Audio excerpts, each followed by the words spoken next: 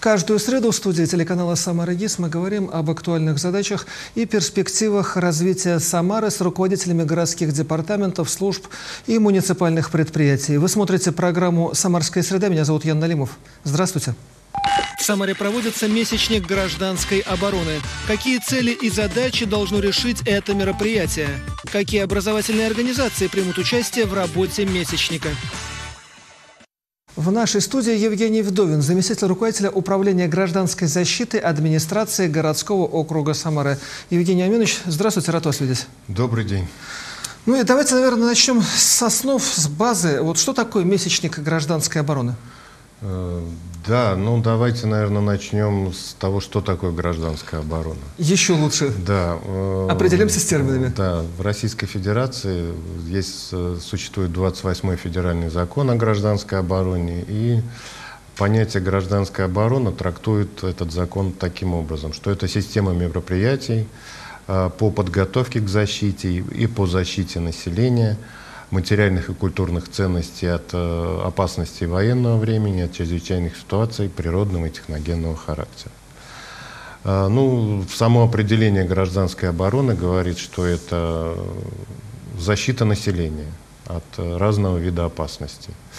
Э, задумались об этом люди давно, ну, вот в этом году мы как раз отмечаем 90 лет гражданской обороны. То есть еще юбилей? Юбилей в этом году, да. Кроме этого, я хочу сказать, что и во всем мире вопросам гражданской обороны уделяется большое внимание. Так, э, еще в 1931 году э, французский генерал, э, медик по образованию, врач, учредил ассоциацию Женевских зон – это Женевская, Женевскими зонами считались и подразумевалось, что это будут какие-то безопасные территории, открытые города, где во время введения военных действий определенная часть гражданского населения, такие как дети, женщины, старики, больные, могли бы укрыться от опасностей.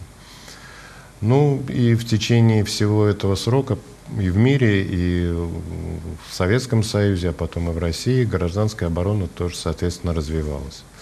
А, началась она как э, противовоздушная оборона. А, особое значение приняла эта структура во время Великой Отечественной войны. Это вот э, те зажигалки, которые снимали сотрудники вот этой организации. Это спасение жизней, спасение от пожаров и прочие, прочие другие дела. В 1991 году из э, ведения Министерства обороны подразделения и части гражданской обороны были переданы в Государственный комитет по чрезвычайным ситуациям, который, в свою очередь, в 1993 году был переименован в Министерство по чрезвычайным ситуациям Российской Федерации. И сегодня гражданская оборона – это прерогатива Министерства по чрезвычайным ситуациям. В нашем случае, в нашей области, это Министерство по чрезвычайным ситуациям по Самарской области, Главное управление.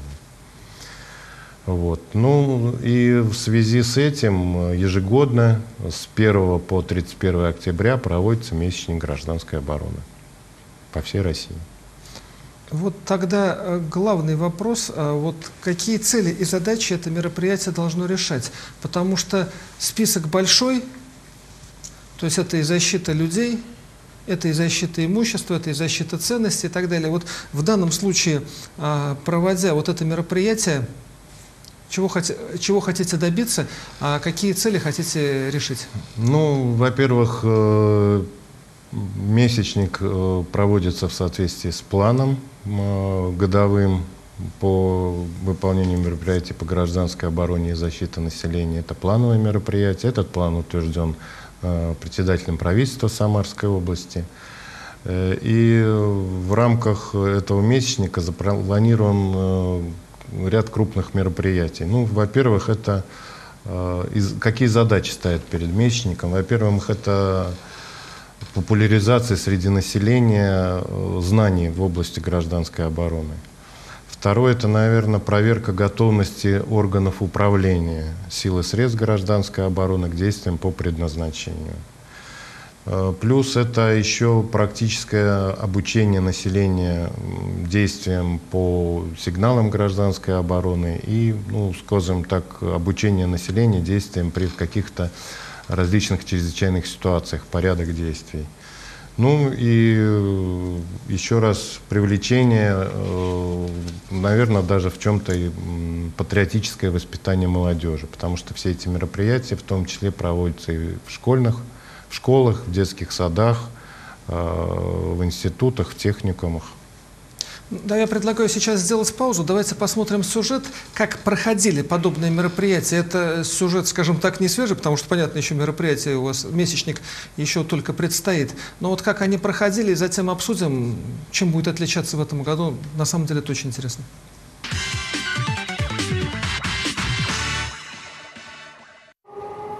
Звуки сирены оповещения и мобилизация. В этот день город особенно активен. В стране стартовала всероссийская штабная тренировка по гражданской обороне. Самару проверили на готовность к чрезвычайным ситуациям. Тренировочный день начался с утверждения специального сценария, так называемого плана гражданской обороны. Для его обсуждения в мэрии собрался весь руководящий состав гражданской обороны. Представители профильных департаментов, заместители главы Самары и главы внутригородских районов. Совещание прошло под председательством Елены Лапушкиной. Одна из главных целей таких ежегодных встреч – закрепление обязанностей между органами управления, которые они будут выполнять в случае реальной угрозы. В рамках проводимой тренировки сегодня в 6 часов получены сигналы и распоряжения от МЧС России на начало тренировки о введении в действие плана гражданской обороны и защиты населения Российской Федерации. По сценарию именно вооруженный конфликт – главная причина природных и техногенных катастроф. Важно использовать все доступные ресурсы, чтобы не только прекратить столкновения, но и защитить население города от отравления дымом, вредными выбросами и другими опасными веществами. Как правильно использовать противогаз, обучают специалистов поисково-спасательной службы. А те, в свою очередь, доносят базовые знания до населения. Специалистов готовят на курсах гражданской обороны, которые также проходят во Всероссийский тренировочный день. Залямки руками, подбородок специальную выемку, снизу вверх происходит одевание противогаза. Основной задачей курсов ГО города является подготовка специалистов в области э, РСЧС, гражданской обороны и защиты от чрезвычайных ситуаций по определенным учебным категориям. В настоящий момент курсы э, проводят, ведут свою учебную деятельность на основании учебной программы курсового обучения. Кроме того, в рамках отработки практических действий провели специальную обработку городской техники, развернули пункты выдачи средств индивидуальной защиты, питания и вещевого снабжения, а также проверили готовность городского спасательного пункта к работе в условиях реальной катастрофы.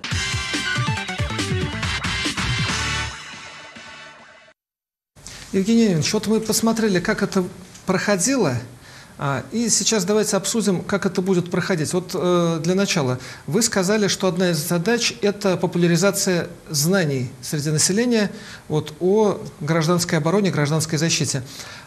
Какие это знания и вот э, что значит популяризация? То есть имеется в виду, чтобы люди больше интересовались и больше знали, вот как это в практической плоскости делается? Ну, наверное, действительно, да, чтобы больше интересовались, больше знали, э, чтобы понимали, как действовать, потому что как раз вот эти знания, они помогают просто жить в нашем сложном, в нашем сложном технологичном мире, потому что у нас опасности окружают везде. Это и общественный транспорт, это и э, какие-то природные явления, катаклизмы, это и просто вот э, у нас дом сейчас напичкан всякими гаджетами, с электрическими приборами. Все они тоже несут какую-то угрозу для человека. А я, наверное, все-таки хочу остановиться вот по, по поводу популяризации знаний. У нас для этого есть, в принципе, все. Мы для того, чтобы... Вот э, ведь обучение в области гражданской обороны, это вот популяризация знаний, это в том числе и обучение в области гражданской обороны, это, наверное, основной способ доведения информации и популяризации этих знаний.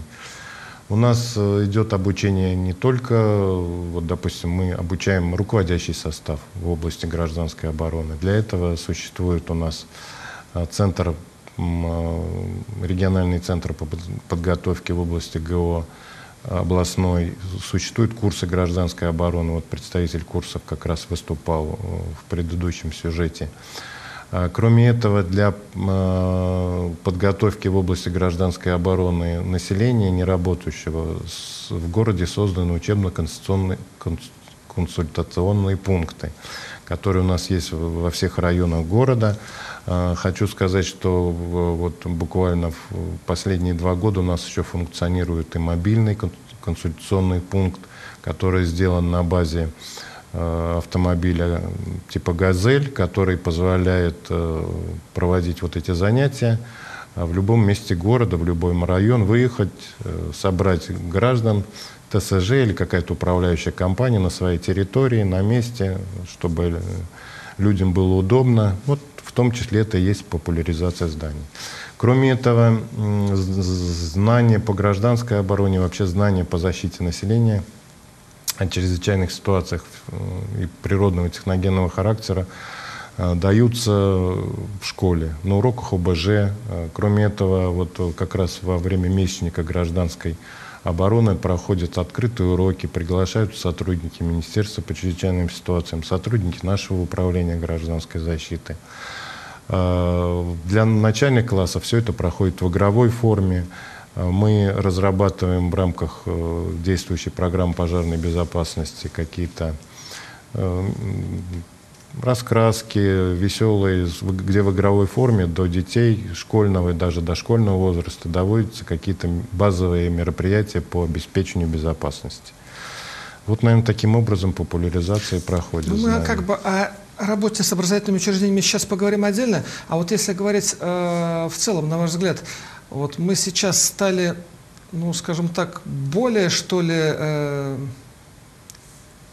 мы стали меньше думать об этом по сравнению с тем, что было, например, раньше 30 лет назад. То есть есть такое выражение вот э, безумие отвага, да, то есть мы там иногда делаем какие-то поступки, не понимая их последствия. Вот на сегодняшний день э, мы часто играем в те игры, не понимая, каким результатом это может привести. Ну, Есть я такое? хочу сказать, что, наверное, да. Вот э, мне кажется, как раз вот популяризация и значение а, знаний в области гражданской обороны они в настоящий момент очень актуальны. Даже не, не, не беря во внимание ту обстановку, которая сейчас в мире происходит, те угрозы, которые сейчас, да. в том числе и над нашей страной, Э, возникают, которые могут быть. Э, я хочу сказать, что действительно мир развивается, технологии развиваются, скорость жизни растет, и мы в любом случае должны быть готовы к реагированию вот на все вызовы, которые нам приносит и погода, и современный мир, ну и международная политическая обстановка в том числе. Ну просто такой обычный, вот банальный пример совершенно. Это тоже на самом деле гражданская оборона. Человек, имея дома там газовую колонку, газовый котел, обогреватель, он просто берет и сам его вот э, исходя из каких-то собственных соображений, переносит в квартире туда, куда его переносить нельзя, и, например, засовывает в шкаф. Да. И это несет угрозу всему дому, всему на самом дому, деле. Да, точно так же, как и не, неправильные перепланировки жилья, снос несущих стен, и вот тебе, и вот тебе чрезвычайная вот ситуация. Чрезвычайная ситуация из-за невнимательности, либо не из-за недисциплинированности одного человека могут пострадать многие. Или совершенно просто безумие верно. иногда даже, потому что без, ну, несущие стены, да, совершенно обычная ситуация, или там человек сделал бассейн в собственной квартире, например, вот ему пришла в голову такая мысль. И вот тебе, собственно говоря, ЧС на ровном месте, который, в принципе, могло бы не быть. Совершенно верно.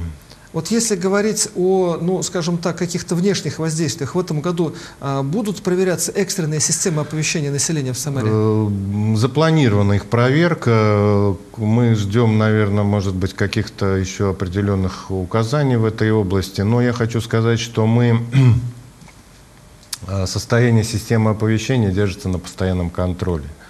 Э, сейчас эта система автоматизирована, она заведена на единый пульт – и мы в онлайн-режиме видим работоспособность каждой сирены и каждой сирены речевой установки. То есть у нас нет сейчас необходимости, э, условно говоря, включать ее и слушать, скажем так. Как ну, она работает? Как она работает, да. Потому что работоспособность этой сирены мы отслеживаем ежедневно э, в рамках вот наблюдения, проверки ну, там, система, которая позволяет понимать, работает каждая сирена или нет. И если мы видим какие-то нарушения, специалисты выезжают, восстанавливают, и мы понимаем, что у нас система оповещения работоспособна и готова к оповещению населения в случае каких-то угроз либо опасностей. Ну, здесь есть важный момент, это, э, наверное, самый важный, это знание населения, что делать в этой ситуации. А ну, вот, кстати, давайте напомним, потому что да, вот там... потому что я могу сказать, что а, вот Один всем... гудок, два гудка и так далее. Вот что делать в разных ситуациях? Давайте в разных скажем. ситуациях. Я хочу сказать, что, ну, наверное, в рамках этой передачи мы не проведем занятия ну, с населением, лекцию, да. полную лекцию. Да, конечно. Я хочу сказать, что вся эта информация есть на сайтах Главного управления МЧС России. Там разработаны э, памятки для населения по действиям, как при эвакуации, как при, где ты находишься дома или на работе, как себя вести в той или иной ситуации. Все эти, э, они очень доступны э, на, на, в качестве как-то, ну, алгоритма действий, что в какой последовательности граждане должны делать и выполнять. Кроме этого, конечно, вот я еще раз повторюсь, что проводятся занятия э, для неработающего населения на учебно-конституционных пунктах. Эти пункты, они развернуты в каждом районе, как правило, при жилищных органах. А работающее население э, по требованиям законодательства, руководители предприятий и организаций должны проводить такие занятия со своими работниками на предприятиях. То есть я правильно понимаю, что управляющие компании, ТСЖ и товарищество собственников жилья – это те организации, э, с руководством которого или сотрудниками которого проводятся занятия, потому что они непосредственно работают с населением, и, соответственно, они должны знать и понимать да, да, не всегда это получается, потому что у нас часто управляющая компания там э, обслуживает малое количество домов, но вот такие какие-то крупные управляющие компании, с которыми наложено взаимодействие, и они на этих учебно, они, на их базе организован учебно-конституционный пункт, где представители администрации районов да, проводят занятия и доводят как раз ту необходимую информацию до населения. А, кстати, насколько они охотно вот откликаются, я имею в виду управляющие компании? Потому что это ведь все-таки нужно человека выделить э, там от Понятно, что это дополнительная нагрузка, но в любом случае, мне кажется, у нас социально активные и э, социально ориентированные руководители, поэтому в принципе всегда в основном получается найти взаимодействие с, и понимание со, в лице руководителей управляющих компаний. Давайте поговорим о том, а, как, будут, э, как будете вы работать с образовательными организациями. Вот какие образовательные учреждения примут участие в работе этого месячника для начала? Ну, у нас, э, хочу сказать про образовательные организации. В, в рамках этого месячника примут участие все общеобразовательные школы. Э, их у нас 154, 169 дошкольных учреждений городского округа Самара с охватом более 100 тысяч учащихся и воспитанников. Э, какие мероприятия будут проходить? Как я уже сказал, это открытые уроки э, с приглашением представителей Главного управления МЧС России, представителей администрации городского округа Самара, администрации внутригородских районов, которые занимаются вопросами гражданской обороны и защиты населения – Будут показать, проводиться конкурсы, викторины по, по этим темам.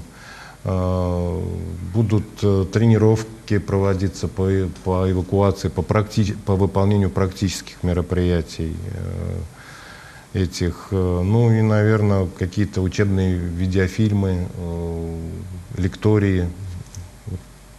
Такого рода будут проводиться занятия. А в дошкольных образовательных учреждениях с воспитателями как будут э, идти работа? Потому что там, наверное, самое главное все-таки это воспитатели. Конечно. Потому там, что ну, дети, они мы будем маленькие. говорить, что мы эти занятия будут проводиться в старших группах э, детских дошкольных учреждений, где уже ребенок может э, понимать, по крайней мере, базовые какие-то принципы безопасности. Это то, что э, как себя вести на улице, соблюдение каких-то основных правил дорожного движения, не выходить одному, там, не играть рядом с дорогой. А, это в том числе понимание, как работают электроприборы, чтобы не было, не хватался за оголенные провода. это пожарная безопасность, это чтобы отсутствие не играли со спичками. То есть на каждом уровне, на, для каждого возраста предусматривается, соответственно, своя программа. И, конечно, вы правы, необходимо готовить воспитателей и учителей тоже к этим да. занятиям. Но э, но это комплексный подход к этому вопросу. Система образования построена так, что, в принципе, Э, ну, наверное, преподавательский состав и воспитатели понимают. Мы со своей стороны э, в ходе перед проведением месячника рассылаем методические рекомендации. МЧС России, адаптированные для городского округа Самара, для нашего родного города.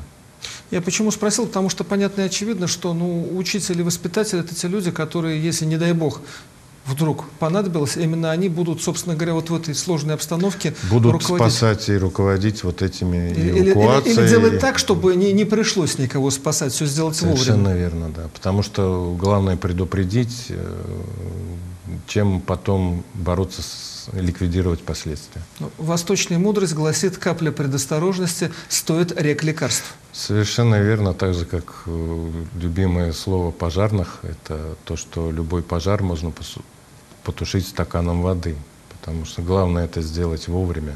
И знать где. И знать где, конечно.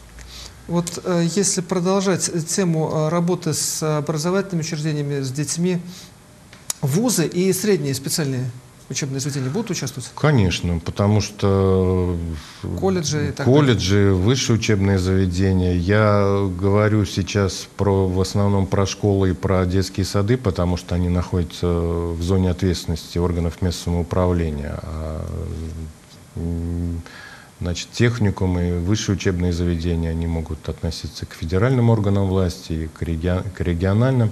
Там эти мероприятия будут проводиться тоже в полном объеме. А, тоже с, с, с полным, скажем, комплектом всех мероприятий. И открытые уроки, там будет уже, ну, понятно, что на более высоком уровне. А, там люди чуть постарше, поопытнее, и, соответственно, и подход немножко другой. Им можно уже давать более сложные задания. Более сложные задания можно, ну, я хочу сказать, что ведь и у нас и в вузах и обучаются специалисты в области гражданской обороны. Это политехнический институт наш, ну, скажем так, Самарский университет он сегодня получается.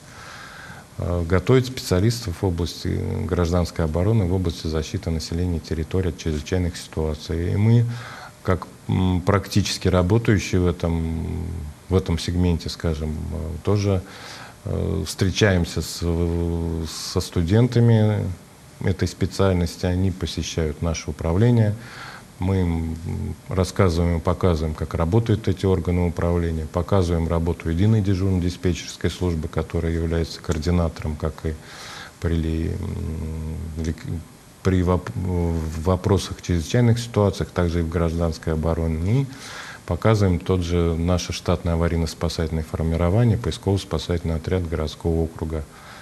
Ну, вот и популяризация знаний, в том числе в школах и в институтах, как раз возможно, кто-то придет в эту профессию, кто-то придет в профессию спасателя, пожарного, может быть, э, даже управленца в области гражданской обороны, потому что это одно из, ну, важное направление вообще деятельности органов местного самоуправления. Но это то направление, на которое мы не обращаем внимания, когда оно не требуется, но когда, не дай бог, оно нужно, выясняется, ну, что вот это самое главное. Я считаю, что как раз главным показателем работы таких органов управления является их скажем, когда про них меньше говорят, когда все хорошо в городе, когда снижается количество пожаров, когда снижается количество погибших, когда безопасно на воде, когда есть оборудованные места для купания, когда люди понимают, как себя защитить от любого вида опасности. Вот если говорить о, еще о работе с детьми, э, на ваш взгляд, сейчас достаточно, вот взгляд профессионала, сейчас достаточно знаний вот в общеобразовательной программе? Ведь я помню прекрасно, как я когда-то отлично умел одевать противогаз. Я это делал на время, я до сих пор, наверное, сделаю это. Я даже ОЗК, помню, мне приводилось им, приходилось им пользоваться. Сейчас этого нет, потому что нет НВП. Вот заговорили о том, что, возможно, НВП надо вернуть. Вот сейчас как с этим обстоят дела? Ну, я хочу сказать, что принципе-то обучение в области безопасности осталось, обеспечение безопасности жизнедеятельности, хотя, конечно, что-то, наверное, упущено за эти годы по сравнению, я имею в виду, с советским периодом. Вот вы говорите, что начальная военная подготовка, она давала На самом деле важные вещи. Важные давали. вещи, знания. Э, но я думаю, наверное, к этому так или иначе придется вернуться. По крайней мере, может быть, не в такой ну, не с тем объемом занятий часов, там, условно говоря, по э, НВП в части, там может быть применение там, отравляющих веществ, ядерного, другого оружия. Ну да, быть. как, как падать, когда происходит ядерный да, взрыв? Но, но какие-то базовые действительно да. положения необходимо все-таки возрождать и возвращать в школу определенный набор знаний. Э, я думаю, что это еще много, наверное, зависит и от преподавательского состава, как эту тему подавать и под каким углом и на что обращать большее внимание. Спасибо за интересную содержательную беседу. И я надеюсь, что э, все то, что вы сейчас отрабатываете, будет понадобиться только вот в теоретической, в такой, в тренировочной форме. Мы тоже на, очень на это надеемся и как раз работаем для того, чтобы не допускать каких-то чрезвычайных ситуаций. Спасибо. Спасибо. В нашей студии был Евгений Вдовин, заместитель руководителя управления гражданской защиты администрации городского округа Самара. Берегите себя, будьте осторожны. До свидания.